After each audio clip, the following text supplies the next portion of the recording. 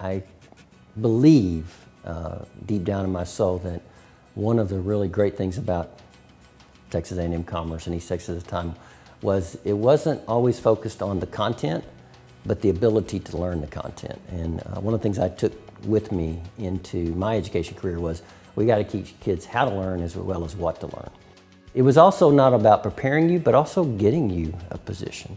And I think that's uh, somewhat rare in universities is that then we'll get you your degree, but then you're on your own.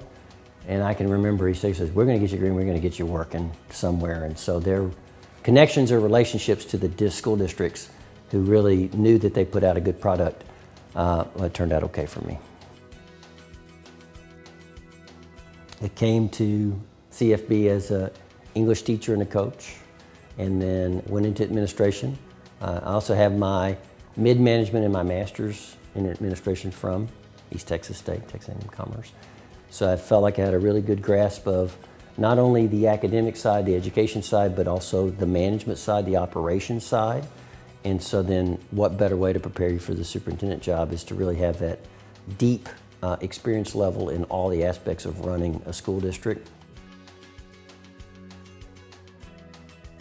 Your personality and who you are is often developed by your undergraduate school and the people that you are around. And what I can remember, uh, I think about Texas A&M Commerce, East Texas time, is that I really did love the academic side of it, the, the English side of it, and I still feel like my love of, of reading came from that.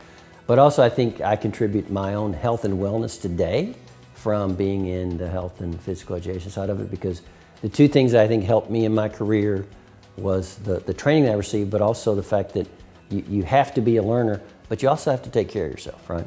And so now, 40 years later, you know, I still work out, I still exercise, I still believe in the physical side of leadership, physical education side of leadership, is that we can't be our best person unless we are truly mentally and physically uh, in good shape, okay?